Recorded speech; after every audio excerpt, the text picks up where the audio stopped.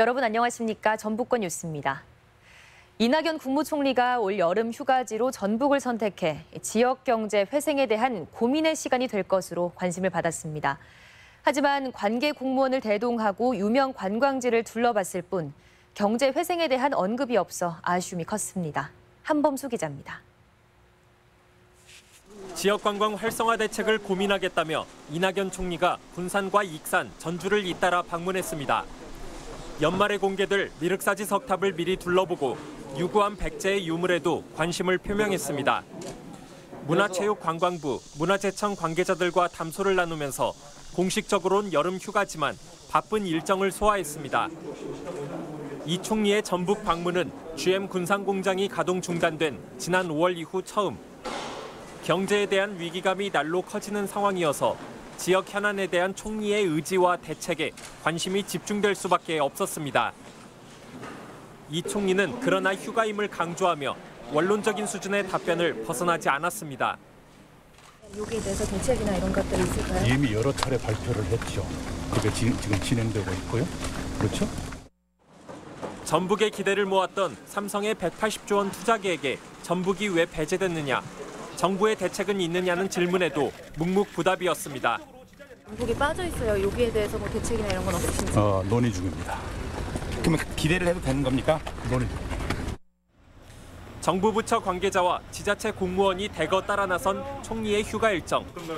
몸은 전북이었지만 전북과 소통하지 못한 이 총리의 방문은 도민들의 기대와는 거리가 있었습니다. MBC 뉴스 한범수입니다. 주말인 오늘도 도내에는 불볕더위가 이어졌습니다. 33일째 폭염특보가 발령된 가운데 낮 최고 기온은 완주에 36.4도를 최고로 전주 36도, 익산 35.9도, 부안 35.8도를 기록했고 대부분 지역에서 자외선 수치가 나쁨 수준까지 치솟았습니다. 한편 오늘 오후 1시쯤 남원시 죽항동의 한 하천에서는 12살 소년이 물에 빠져 심정지 상태가 됐지만 구조대원에 의해 가까스로 목숨을 건지기도 했습니다.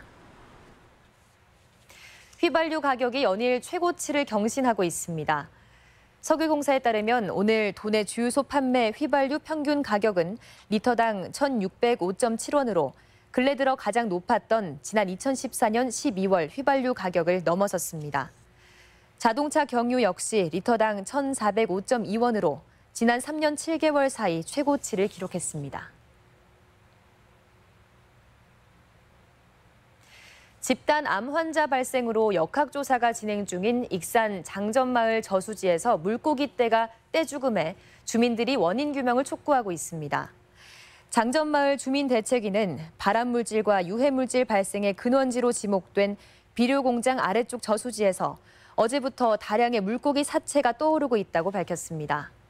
주민들은 현재 가동이 중단된 비료 공장에서 오염물질이 저수지로 흘러들어 물고기 폐사로 이어졌을 개연성이 있다고 주장했습니다. 김승환 전국 시도교육감 협의회 의회 회장이 대입 정시 확대를 수용한 교육부에 강한 유감을 표명했습니다. 김 협의 회장은 성명을 통해 교육부가 정시 확대라는 공론화위원회의 대입 개편 권고안을 수용한 것은 교육 계약이고 시도교육청을 외면한 것이라고 지적했습니다. 한편 국가교육회의는 지난 7일 공론화위원회의 의견을 수렴해 수능 성적 선발 전형 비율을 현행보다 확대하는 권고안을 발표했습니다. 전북권 뉴스였습니다.